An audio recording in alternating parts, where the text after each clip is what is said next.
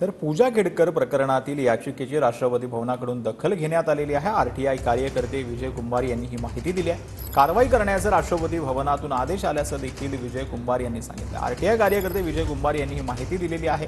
विजय कुंभार यांनी पूजा खेडकर यांच्या दिव्यांग प्रमाणपत्रासंदर्भात तसंच नाव बदलाविरोधात तक्रार केली. पूजा खेडकर प्रकरणात सुरुवातीपासून पाठपुरावा करणारे माहिती कार्यकर्ते विजय कुंभार आता आपल्यासोबत आहेत. सर तुम्ही राष्ट्रपतींना जी काही याचिका पाठवली होती ऑनलाईन ती याचिका तुम्ही दाखल केली होती त्याला राष्ट्रपतींकडून सुद्धा प्रतिसाद देण्यात आलेला आहे. काय नेमकं राष्ट्रपतींकडून रिप्लाय तुम्हाला आलेला आहे?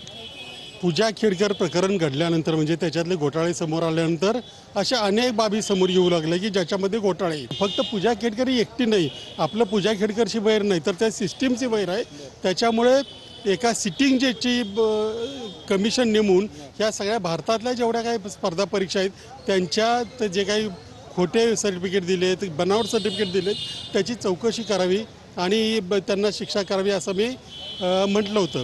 तर त्या आधारे आता काल राष्ट्रपतींनी मला पत्र पाठवलं आहे की मला म्हणजे त्यांनी पत्र पाठवलं आहे प कार्मिक मंत्रालयाला की हे विजय कुंभार यांनी केलेली याची काही स्वयंस्पष्ट आहे. त्याच्यामुळे याच्यावर ॲक्शन घ्या आणि विजय कुंभारांना कळवा असं त्यांनी ते पत्र दिलेलं आहे. त्यामुळे आता ॲक्शन होईल अशी आता आशा निर्माण झालेली cameraman Tushar ननावरेसह Yogesh Borse T V nine Marathi Pune.